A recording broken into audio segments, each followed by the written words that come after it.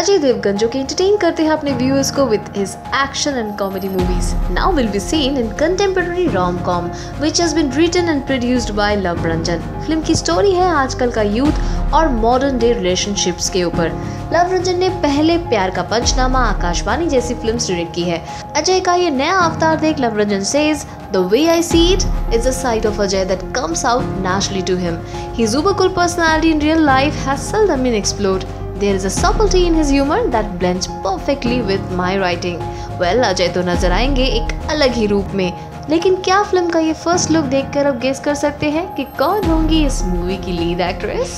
for comments do click our subscription button